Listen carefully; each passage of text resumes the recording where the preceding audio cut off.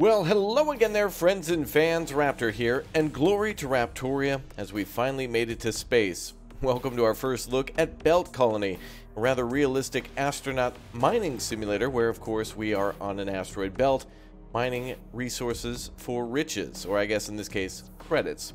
You can find out more about this game down below in the description, and let it be known that today's episode is also sponsored by the makers of Belt Colony, so thanks to them for sponsoring. Check out how cool and realistic these controls are. I appreciate it in the game when they'll do all sorts of realistic controls for a, a EVA, extra vehicular activity, I believe that is. But I really like it in games where you are able to go out in a spacesuit and do maintenance or travel around, and they make it rather heavy. Like the controls are rather slow, as you'd imagine, for an astronaut outside of a space station or on a planet or in this case an asteroid with very low uh, gravity. So anyway, we're going to mosey on over to this base. The character uh, at the start here has been dropped off on this asteroid belt and of course we're going to also drop off resources here next to the base. So all sorts of things from aluminum to iron ore and much more can be gathered and then of course sold for cash. So it's a rather realistic and relaxing game uh, in this simulation type and also goes into first person whenever we step inside the base. So pretty cool. When we're outside, third person simulator, we get to go out there and, yep, be in our spacesuit, but when we go back inside, we go into first person and can go inside the living quarters and mosey around. So let's go do that then. I like the uh, look of this stairwell too, by the way, all shiny. Like we're on the Enterprise, although a little bit more, uh, I don't know, something in between. But I appreciate it. That, uh, oh, it looks like a 90s music video in there. Alright, lots of buttons, lots of lighting, and lots of living room.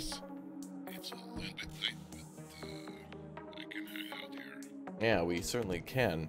Right, so on this main computer, this is where we're going to sell all of our items and also buy stuff. We right click, we can sell or buy food and water, and then we can also upgrade our spacesuit, and we can upgrade our station, and then eventually get spaceship uh, parts and also upgrade spaceship stuff too. Volatile extractors, drone pads, solar panels are all part of it. If you like games like Planet Crafter, or if you're a big fan of perhaps Space Engineers, it's kind of a perfect mix between the two where instead of just doing um, travel, you're actually somewhere working continuously, and I appreciate that. Uh, and Planet Crafter, I really like that too, where you're kind of in one area for a long time, mining stuff and building your own little base. And that's kind of another thing that this game reminds me of is uh, the interior and seeing some of these chairs reminds me of Star Citizen, but it also does feel like Planet Crafter at the same time with the module here. So hopefully we eventually get to expand upon it. I don't think we do, but it would be cool if we actually uh, did something along those lines. So anyway, got to go make some money. So over time, the food, water, and power will go down, so we'll need to make purchases for that.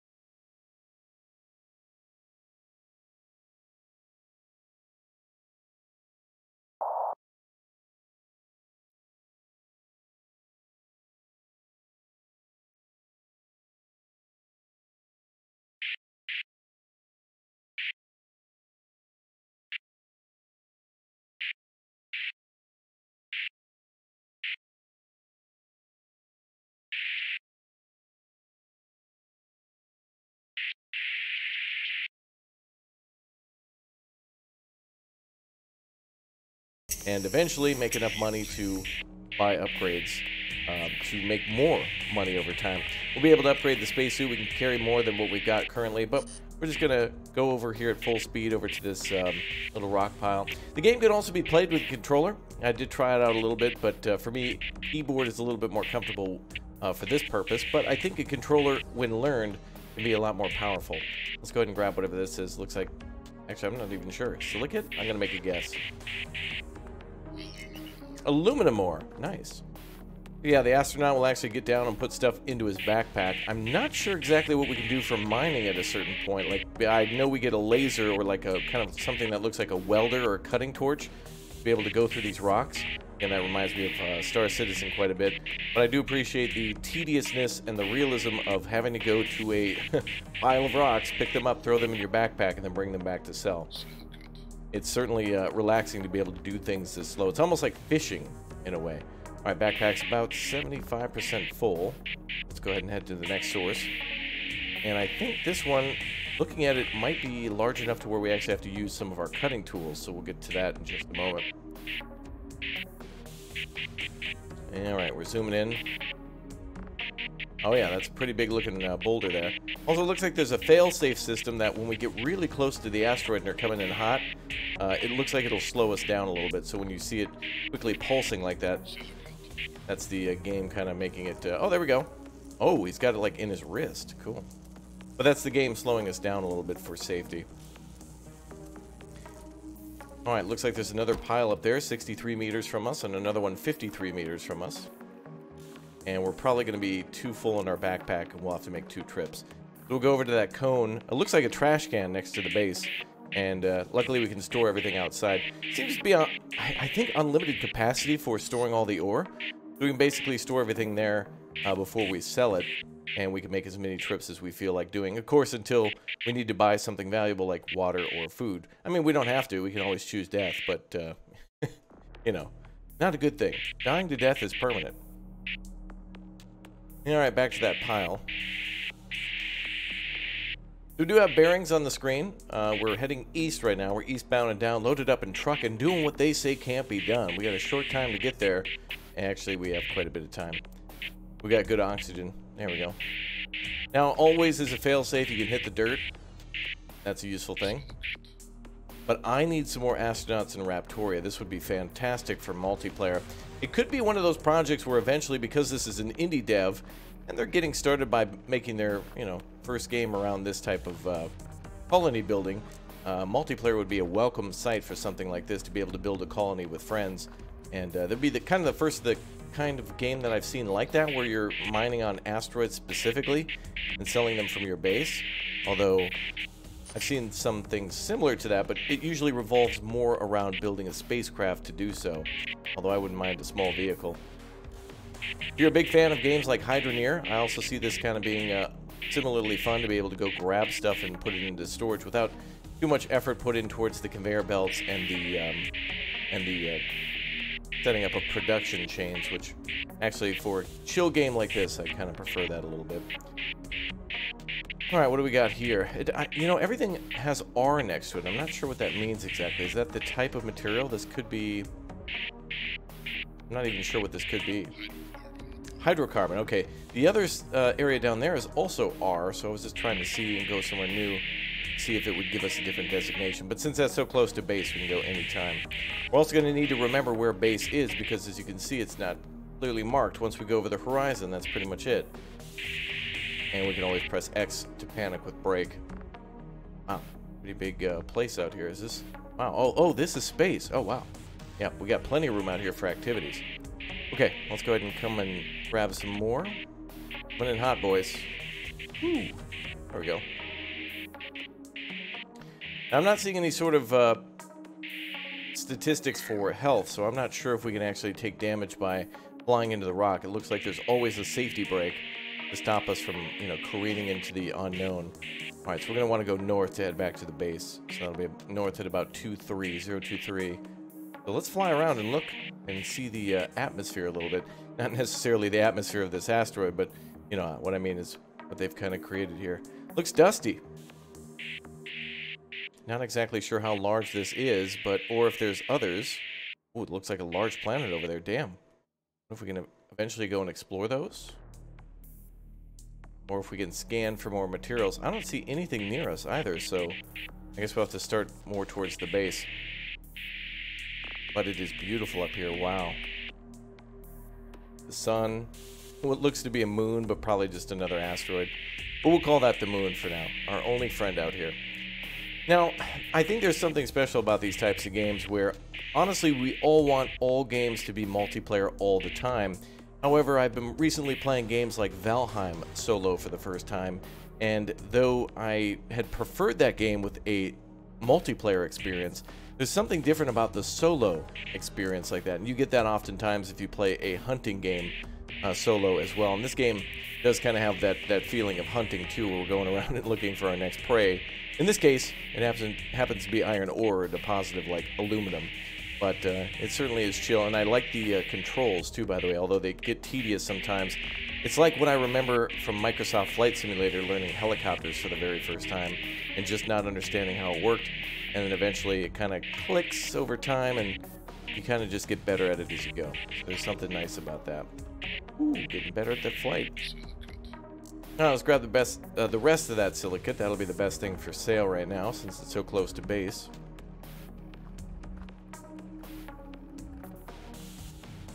There we go.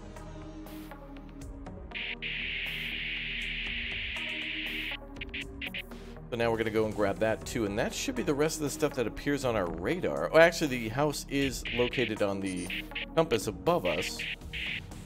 And we're getting about half on the fuel there. Let's go see if we can risk it and grab that last one. Oh, actually just coming back to the base refills our oxygen and our fuel. Although I believe more of that stored in the base is kind of like a large storage.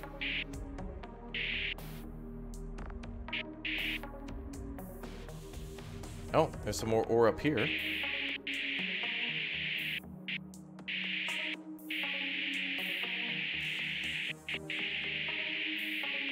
Alright, let's go grab some of this.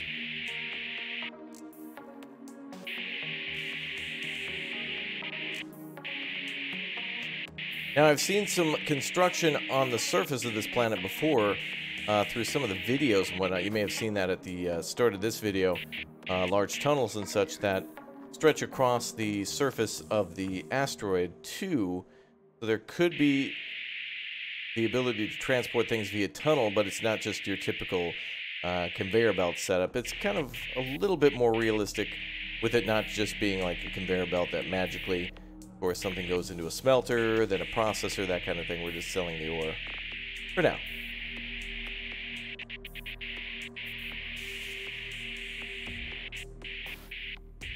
Alright, let's grab some more. You know, this actually, for whatever reason, just reminded me of, uh, hey, copper ore, nice. Uh, reminded me of Elite Dangerous.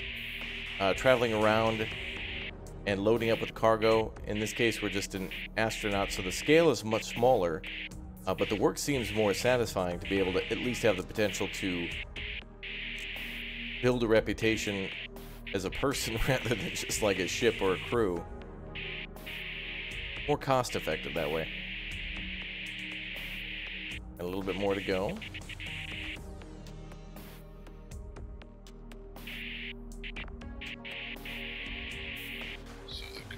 More silicate. Alright, so so far we found silicate, iron ore, aluminum, and uh, hydrocarbon, I believe. Our backpack is full again.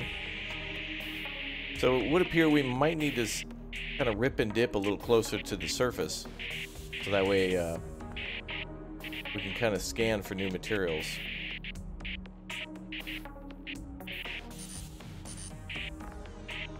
Okay, we can't go any faster than this. And I'm wondering if we hit maximum altitude, if we'll just fly off the asteroid. I don't know if there's like a, a, death other than running out of oxygen or food or water, but we'll see.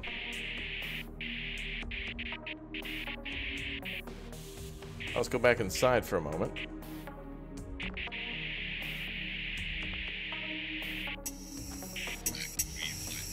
Oh magnetizing. I see. So we don't have gravity in there. It's actually our boots.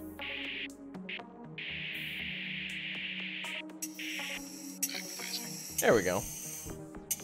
Cool. Alright, so we can only see our stats when we're here inside the base. Uh, there must be a way to switch between those because you never know if you were low on food or water outside unless you can switch between those. You'd have to come back and check all the time. Go ahead and take a look what we've got. How much can we sell now? Oh, greenhouse? Nice. We can buy greenhouses, metal refinery. Now, I'm assuming a lot of these are inside our base so that we can place them internally. It's not something that works externally like the conveyor belt thing I mentioned before. That's kind of weird how we can actually buy some of this stuff, though we might not have the credits for it. I think it'll just tell us ins insufficient credits, but... Oh, look at that. Wait, what? Prices are going up. Or do they fluctuate artificially? Oh, they do. Oh, damn, you can kind of sit here and watch, like, the crypto market. There we go. Let's sell with one 110 or whatever. Wait, sell ore. Silicate ore. Food, water, spacesuit upgrade. Oh, wow, damn. We got 6,712 from that? Wow. Uh, that's pretty amazing. Uh, spacesuit upgrade. Increase thrust and speed by 20. Certainly do that. Got a Steam achievement for that, too. Oh, hell, let's upgrade the suit twice and buy a... We buy stuff at 10,000. I'd say it's probably a better idea to upgrade the suit first and then start upgrading all the other things. Storage upgrade, 10,000. Solar panel 2. Power's at 100% currently, though. Got a drone pad, ore extractor. Couple the minor things are out of the way. I think they expected us to start there. Well, that's good. Oh. Oh, we're getting a delivery.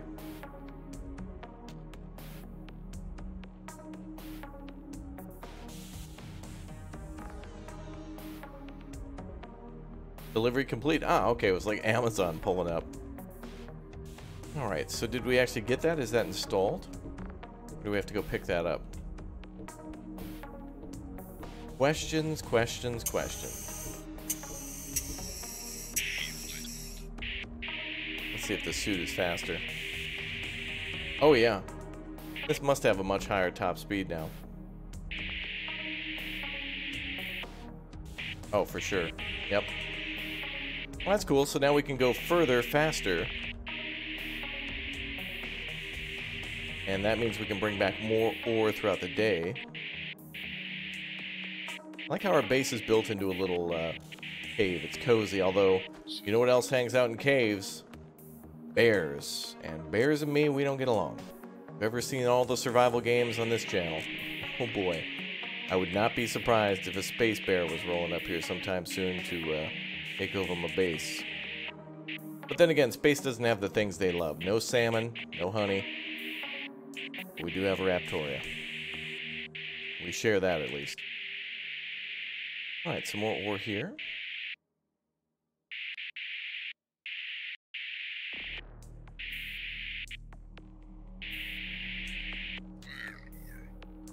So the delivery vehicle will drop off stuff for us, such as our suit upgrades and whatnot, but I wonder if there's other things that we can uh, see if we were to sell something, especially if we get a large amount of it. It'd be cool if a larger dropship came down. I'm also wondering if we might be able to find derelict wrecks on this uh, asteroid. That'd be really cool. That'd be a great feature to add in the future would be to find a, a wreck or something and be able to salvage that a little bit. Uh, the game is called Belt Colony, so anything that you would do in order to create a colony of uh, people and survivors and workers would definitely be viable. Not like you would just be limited to mining. You could also perhaps do a fuel operation. Be really cool if we could do some refueling. Start this way, then eventually become a space gas station, and uh, having like an area for people to land and create uh, landing pods and whatnot. That'd be really cool. Potential here is is certainly uh, I guess unlimited, really. It's just limited to space. There's a lot of that.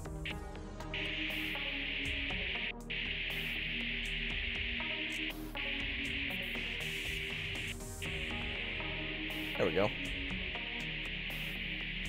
Wow, getting better with these controls a little bit. Smashed into the ground there, but the precision placement at least is there. Gonna got well, landing's always the worst part, isn't it? Okay, don't see anything there.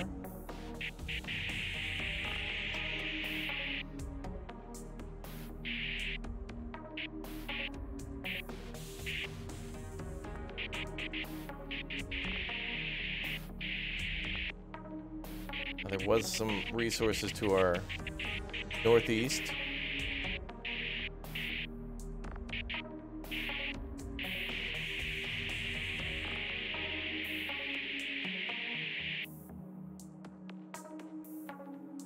Oh, there's definitely some stuff out here. Gotta be a way to scan. Let's see. We have left shift for a modifier. Extra brake. We do have a light on us. That's a very good light. Most games you get such a puny light, especially in space, it's not even worth using. Here I feel like a helicopter during like a high-speed chase.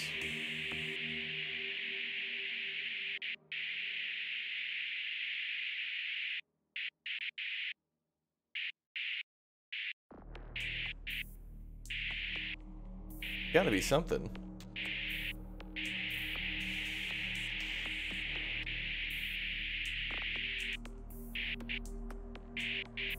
Got no ore detected here. Oh, it looks like the base is still marked. Okay.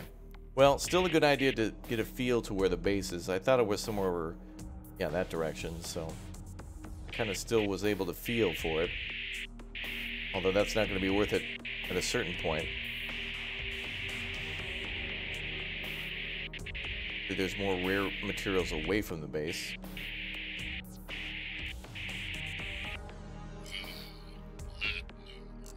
Platinum ore. Okay, so that must sell for quite a bit. And he also mentioned titanium earlier. No, not titanium, copper.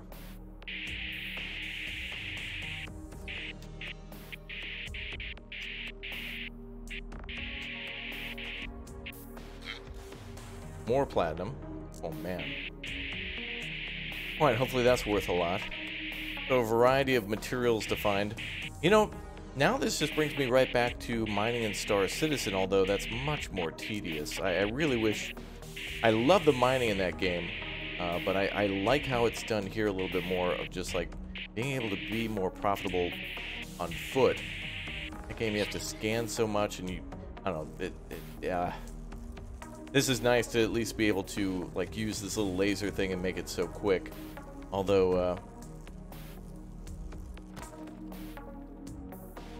Oh, wow. Yeah, I appreciate the variety of being able to pick up raw materials off the ground, or in this case, like break a rock to get the ore on the inside. And hopefully, this is going to be worth some big money here. This is the type of rock where it's going to take us a few trips. So it would be good if we um, were able to mark coordinates or ping the map somehow If you wanted to come back to a location like this, you're going to have to remember exactly the bearing you were at. So like we would be at 260. Actually, uh, we're rolling right back to the base. That'd be around at like 285 or something. But anyway, careful now.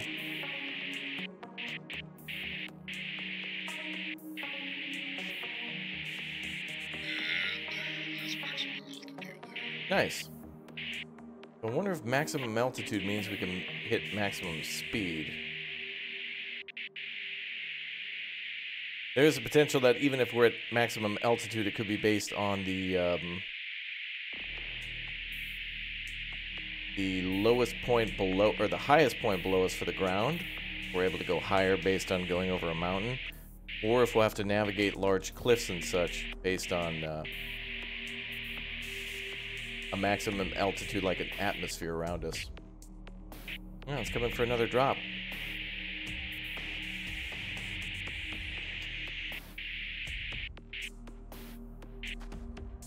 Thirteen units of ore. Alright, that's gotta be good money. Let's sell this. Nice. Uh, it's really um, forgiving too at how you dock into the base. You don't have to be precise, and it's the same with mining. You can kind of just right click and get close, so that's kind of nice. Let's see if we can get these units up to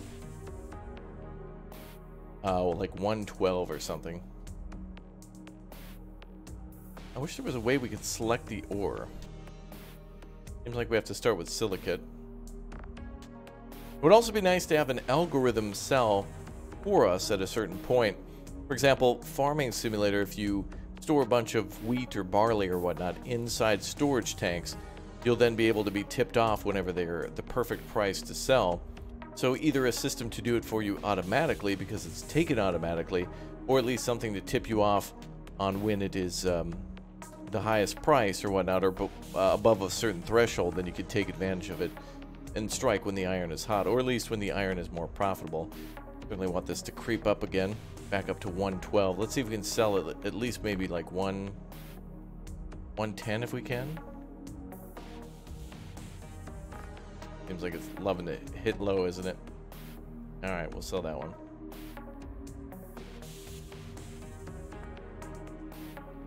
Hoping that it'll change to some other unit. Oh, there we go. Now it switches to iron ore. Okay.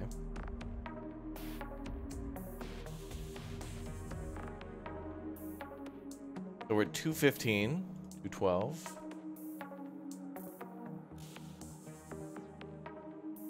Wow, platinum sells for 2600. Oh wow. All right, we're selling we're selling everything. Just sell it all. 14,922. Fantastic. Well, uh, we could get a spaceship landing pad, although I'm not sure what, exactly what that does.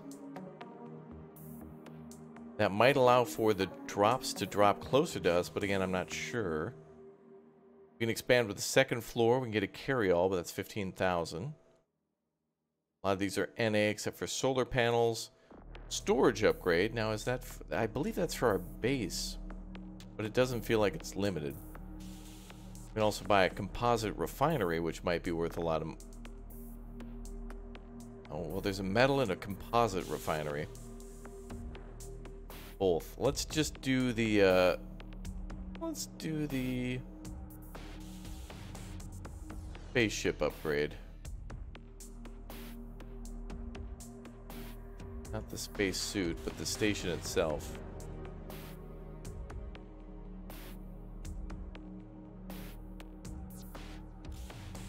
Anything else new here? Alright, let's see. Station upgrade 1 with the landing pad, please. And we've got spacesuit upgrade, but we're a little low on money. Moolah.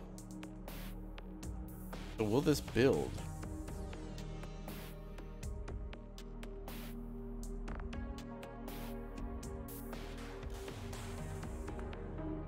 Construction complete, okay. So they dropped it off and did it for us? Oh, I see. As we add on to the base, the base will now require more power. We have a minimum power, but solar panels will be needed to add more stuff onto the base. So we'll need to build solar panels and stuff next. To continue to expand. Okay. And we'll need to go for food and water. Alright, so I'm not sure what this is for. This must really be for, like, bulk delivery. Maybe maybe that unlocked new options for us to get new stuff.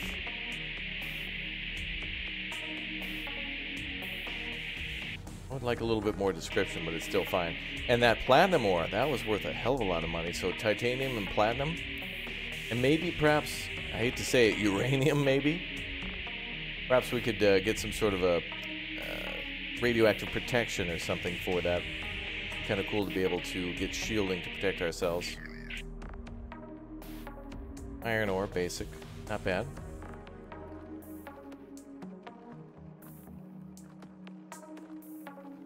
Wow, he's filling up.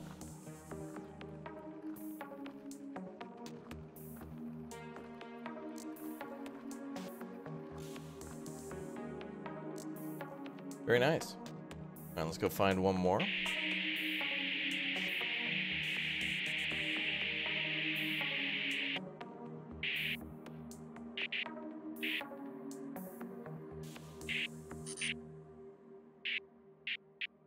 So at this point, I certainly would like to upgrade my spacesuit to be able to hold more stuff. And it seems like the most profitable run to do is just to go far away from the base, hope for platinum or titanium, and then fly it back and then start trying to get a metal processor, although that might require a bigger base to do that. Regardless, it's still a fun little scavenger hunt. You never know what you'll find. Of the crater there. Let's fly a little closer.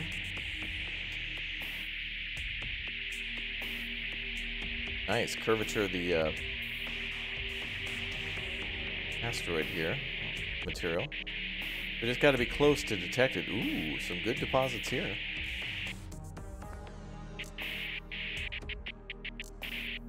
Find out what's on the ground.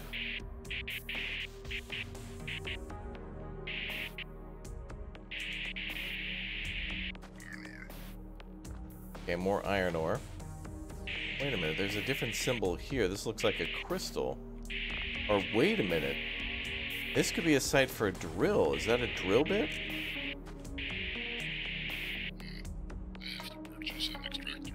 Ah, okay. So this seems to be an iron ore deposit that's so heavy in iron ore that we could actually build an extractor. Oh, cool. Alright. Oh, aluminum, that's not bad. Very good stuff indeed. So this is the early game boring sleeper grind that makes you appreciate all the stuff that's later in the game. Now, I don't mind this at all, honestly. I could probably do this for like a couple hours before getting bored, and then having a ton of cash ready to go to then upgrade the base immensely and go from scavenger mining mode to just build mode for a very long time. Uh, but, you know, I don't think the goal is necessarily just pure optimization of automa automation here. It's not automation, it's mostly just like do whatever you want. So long as you can pay the bills to keep yourself alive, the food bill being paid for, and whatever else, you'll just be fine. Alright, back to base.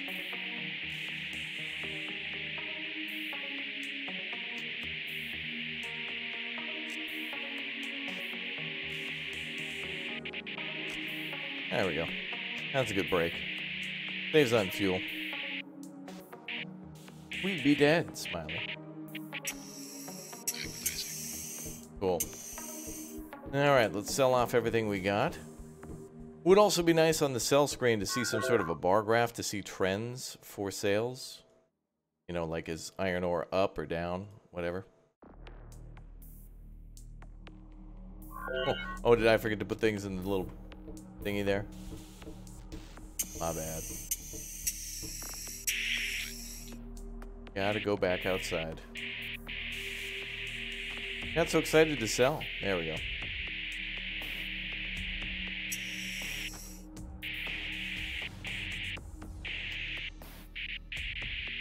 Oh. Dropped on the walkway. There we go. Alright, central terminal. Now we can sell. There we go, 7,000. Cool, so now we, uh, we, uh, we buy a little bit of water by units of 10%. Okay, so that's going to be spendy.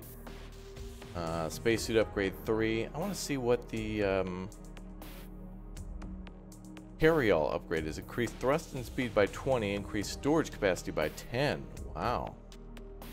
But wait a minute. We bought a spaceship landing pad. Transport and deploy structures with the carryall. Ah! So that's how we build things. So if we want to build an extractor, we then need a station to then pick up our, and we need to buy a carryall to then pick it up and bring it to the site. So the ore extractor will cost 10,000, then we need a way to actually transport it to the site. They won't drop it off at the site itself, which is kind of cool. It means we're buying our own construction equipment. No one can mess with us. So we can buy a greenhouse and upgrade that twice. There are upgrades, there are refineries, there are um, other things that I think go inside the base or will be outside close to the base, so we'll always have to come back here. No sprawling conveyor belts, which I kind of like. I like doing the work. Well, let's buy the third upgrade for the uh, suit. Actually, that's what increases the storage capacity, too. We got a fully upgraded suit, and we got a little bit of a station upgrade, too, for this uh, starting pad, so I guess we're kind of fully upgraded for the basics. Get a 95 on that one, 97 on that one. And power, we're going to need to focus on electricity next if we're going to build more. Oh, we can move place buildings for 5,000. Nice. And a solar panel, which will provide us with... Oh, it doesn't necessarily say wattage or percent, but it'll only cost us 2,000, which is a hop and a skip away. Oh, and here comes our uh, cargo again. Oh, we'll use my landing pad. Oh well, at least we get it for free and don't have to do anything else once it arrives. Alright, so just a little cutscene for base expansion. What is this, a sleep pod? Maybe a shower? Kind of looks fancy, like a shower could be. I guess this would be for the sleeping, huh? I like a little bunk bed here. Clothing storage or maybe food or something. We can sit down here. Not too much to the base, but it's simple. And it's, uh, it's cozy. Alright. Now we go. Top speed. Let's see how we can go. Yeah! Wow, we're going fast now. Much better than before. Glorious Raptorian technology. Rip and dip, brother. Alright folks, well that's going to be it for our time today at Belt Colony, but this is certainly the type of game I'd love to live stream and just chill out with on an afternoon and just hang out with everybody and mindlessly gather ore, unlock new stuff, make money, and just build a cozy little base and kind of feel proud of getting everything done. Well, I can even see my shadow down there. Cool. Well, make sure you check this game out down below in the description. Again, thanks to the devs for sponsoring this video. You can check it out again with that link or just search for Belt Colony and just chill out with some awesome space games. There's been a lot of great ones on the channel recently, and this is certainly an indie title to keep an eye on for more features and future updates for sure. Alright, thanks everybody for watching. I'll see you all next time. Dino Man out. Alright, mission complete. No bears. Yay. Yeah, that's right.